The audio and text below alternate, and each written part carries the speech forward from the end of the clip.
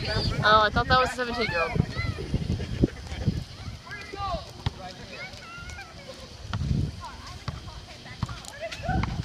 There it is.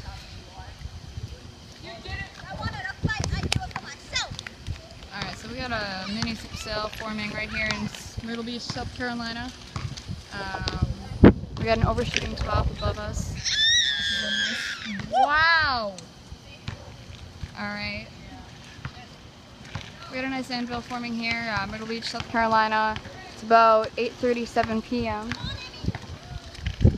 I'll be with you guys in a second. And uh,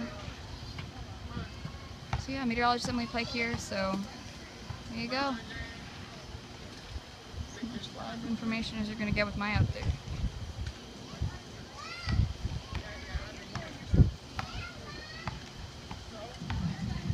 Oh.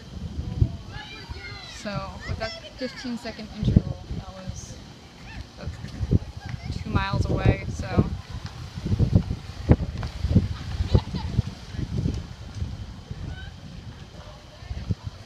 Lightning's really active.